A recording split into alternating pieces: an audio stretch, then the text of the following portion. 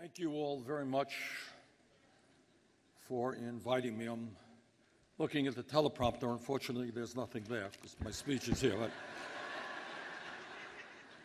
I ain't a teleprompter guy. Uh, let me congratulate the National Urban League and Marc and all of you uh, for the enormous role you are playing uh, in, this, in this country uh, fighting for social justice, and not only the ideas that you are bringing forth, but the day-to-day work that you are doing in terms of job training, in terms of helping small businesses secure financing and contracts, and the help that you have provided families with counseling when they're trying to realize the American dream of home ownership. And that's just a few of the areas that you have excelled in. Um, my views are a little bit different than others. I am the longest serving independent in the history of the United States Congress, and I am running for President of the United States today within the Democratic primary and caucus process.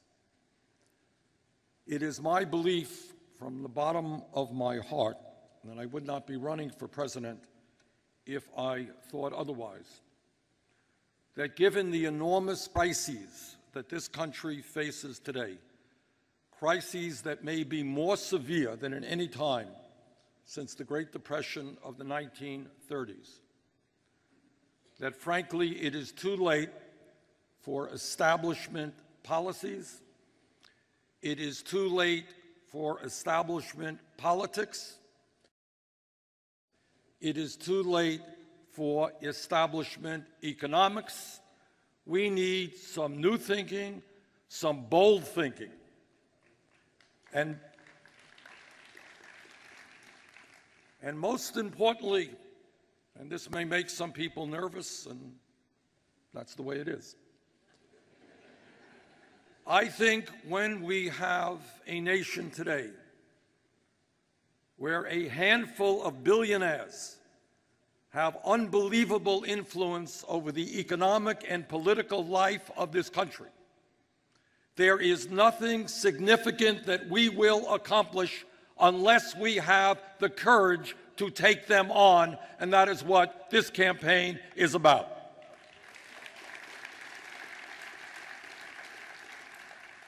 The themes that you have outlined for this conference are exactly right save our cities, education, jobs, and justice.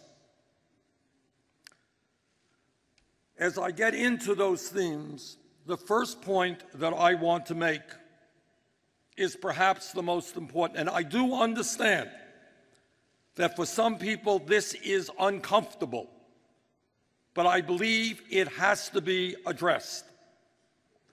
And that is that the United States of America today is the wealthiest country in the history of the world. But most people don't know that because much of that wealth is concentrated in the hands of a few. Today in America, we have more wealth and income inequality than any other major country on earth, and it is worse today than at any time since 1928. To me, it is that the top one tenth of 1% owns almost as much wealth as the bottom 90%. It is not acceptable that one family, family that owns Walmart, owns more wealth than the bottom 40% of the American people. It is not acceptable that in the last two years, the 14 wealthiest people saw their wealth increase by $157 billion, more wealth than is owned by the bottom 130 million Americans. The truth of the matter is that we cannot run away from that reality. Income and wealth inequality is the great moral issue of our time. It is the great economic issue of our time. It is the great social and political issue of our time, and together we must address that issue.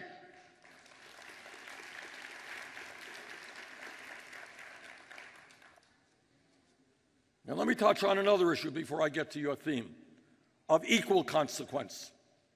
Some of you may have heard, maybe you didn't, didn't get a whole lot of press. A few days ago, former President Jimmy Carter described the American political system as corrupt.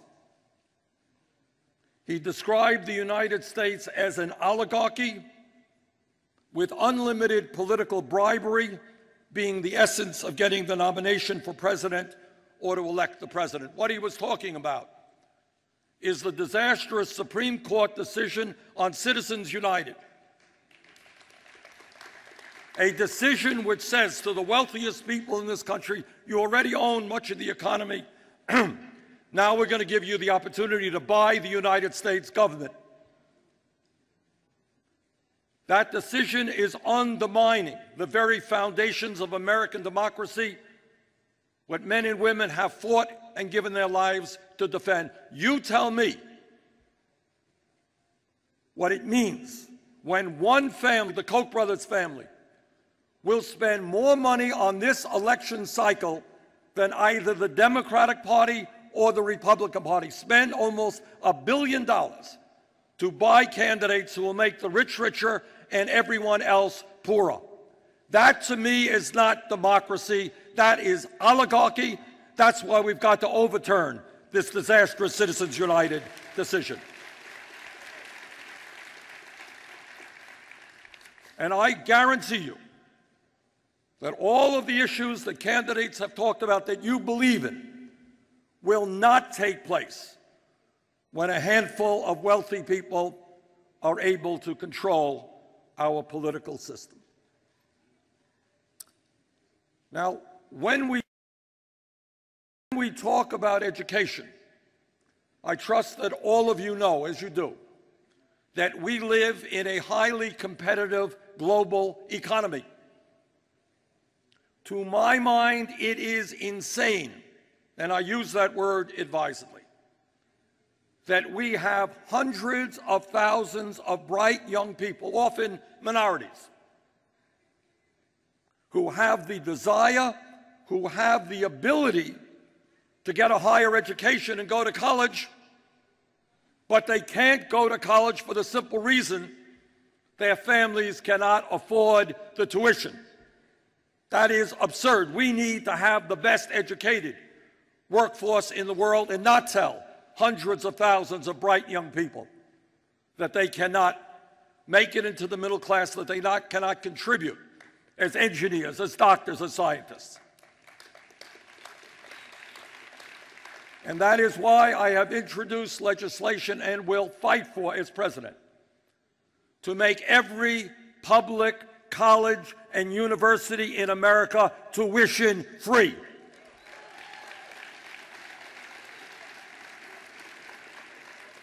And what that means is that kids in the fourth grade and in the sixth grade will know that if they study hard, pay attention, do their schoolwork, even if their parents, like my parents, didn't go to college, even if kids in the neighborhood did not go to college, they will be able to go to college because the incomes will not be a determining factor. This will revolutionize education, I think. And when we talk about education, what we also have to understand and be frank is the world has changed since the 1940s and 50s. Mom is in the workplace. Dad is in the workplace. We need a first class child care pre K system in this country. In my state and all over this country, working class families struggling to find affordable quality child care. Child care workers are paid minimum wage. That is not how we should treat the most vulnerable children in America. Universal pre-K, well-paid teachers. Now, let me say a word about jobs. You read every month that unemployment is 5.3%. The government comes out with a statistic. Please know that that statistic is only one of many statistics the government releases on jobs. That statistic does not include those people who have given up looking for work and those people who are working part time, millions, when they want to work full time. Real unemployment is not 5.3%, it is 10.5%. It is a crisis. And now let me tell you what very few people are talking about, which is an even greater crisis. And that is youth unemployment, which we don't talk about at all. I asked for last month a study from the Economic Policy Institute, and they came up with the results that nobody is questioning. Listen to this. If you are a white kid between 17 and 20 who graduates high school, you have a 33% unemployment rate. If you are an Hispanic kid, you have a 36% unemployment rate. If you are an African American kid, 17 to 20, high school graduate, you have a 51% unemployment rate. That is unacceptable. That is turning our backs on an entire generation. And we must not allow that to continue.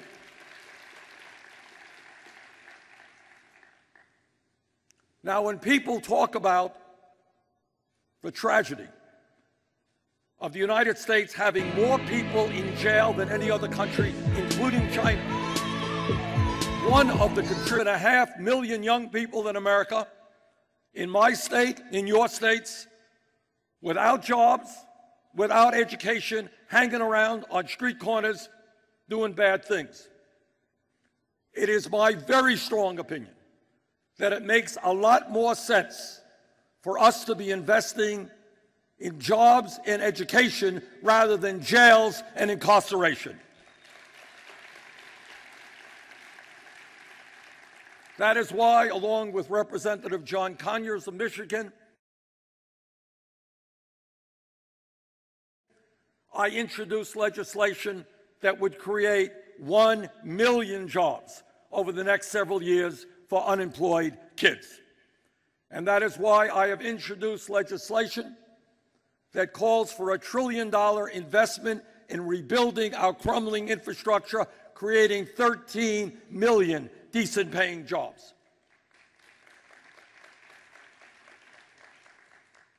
And when we talk about jobs and income, let me be very clear. The $7.25 minimum wage that exists nationally is, in my view, a starvation wage. And that is why last week, alongside young people in the fast food industry who are standing up and fighting for dignity, I introduced the legislation that will move us to $15 an hour minimum wage over the next few years.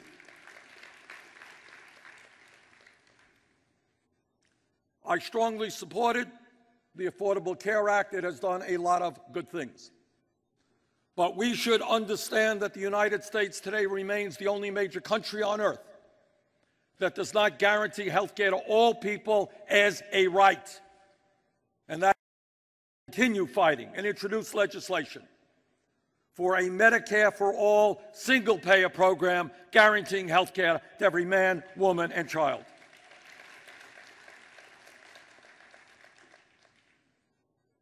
Now, when we talk about justice, when we talk about the need for all people in America to be treated equally and with dignity, we have got to deal with some hard realities. And those realities include the fact that today, if you can believe it, and I know you can, one in four black males born today can expect to spend time in prison during their lifetime unless we change that dynamics. This is an unspeakable tragedy.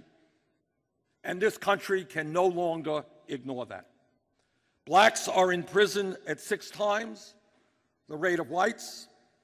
A report by the Department of Justice found that blacks were three times more likely to be searched during a traffic stop compared to white motorists. African Americans are twice as likely to be arrested and almost four times as likely to experience the use of force during encounters with police. 13%, and this is an extraordinary figure, and I think not an accident. 13% of African American men have lost the right to vote due to felony convictions. Can't vote, can't participate in the democratic political process. Now, in my view, we need some major changes in criminal justice in America. And as President of the United States, I promise you, my Justice Department will be vigorous in fighting all forms of discrimination in every area of our life, not only in police matters, but in housing, in credit, in every area that impacts minority populations.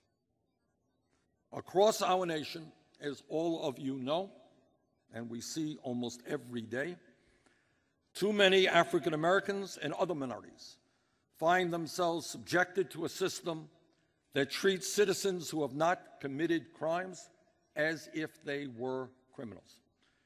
A growing number of communities throughout this country do not trust the police, and police have become disconnected from the communities they are sworn to protect.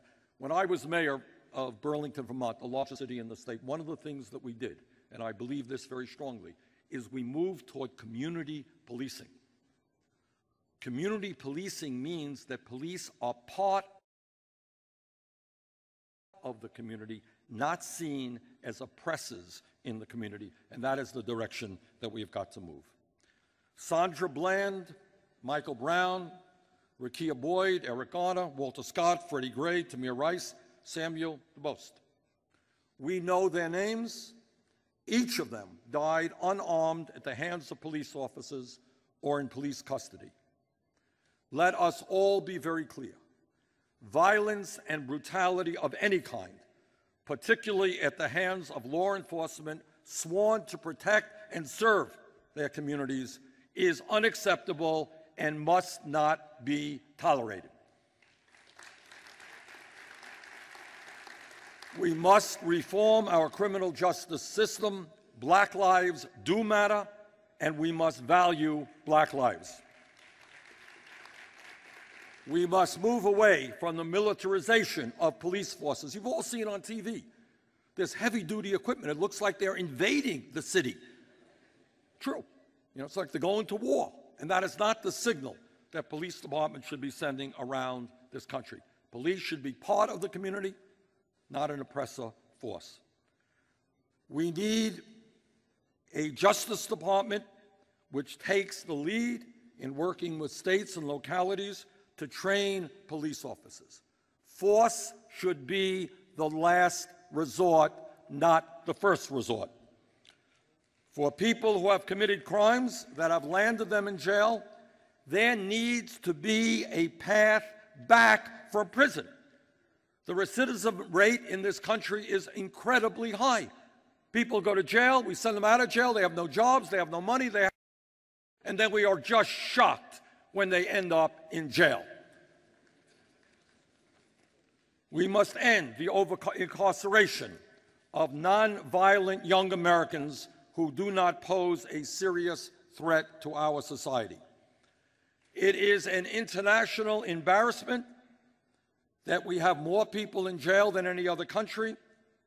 it, it is a obscenity that we stigmatize so many young Americans with a criminal record for smoking marijuana, but oddly enough, not one major Wall Street executive has been prosecuted for causing the near collapse of our entire economy. Doesn't make a whole lot of sense to me. We need to end prisons for profit. I do not want corporations making money and more money based on how many people we lock up. The measure of serious and effective law enforcement should not be how many people go to jail, but how many people we can keep out of jail. We need to invest in drug courts and medical and mental health interventions. Mental health, what an issue. So many of our people in jail are dealing with mental health issues, and I can tell you as a senator, I get calls, and I think others do as well.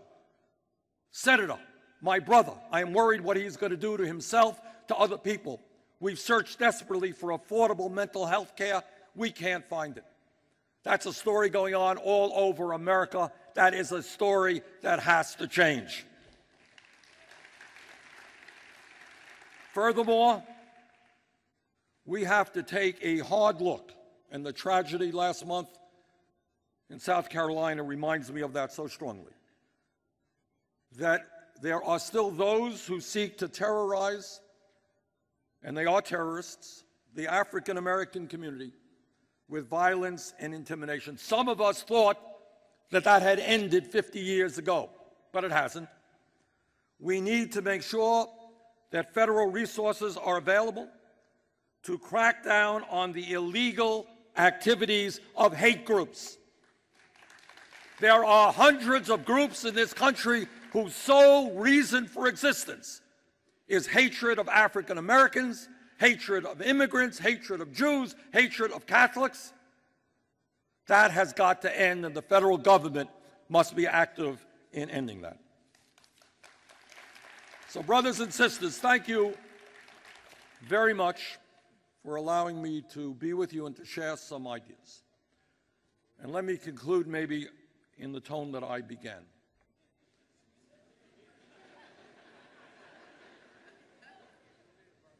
And that is that these are very, very difficult days. No question about it. But I believe that if we stand together as a people, if we don't let people divide us by race, by gender, by sexual orientation, by what country we were born in, if we stand together, if, we have the courage to take on those people today whose greed is destroying America. If we do that, there is nothing that we cannot accomplish, and I am confident that the Urban League will be in the forefront of that struggle. Thank you.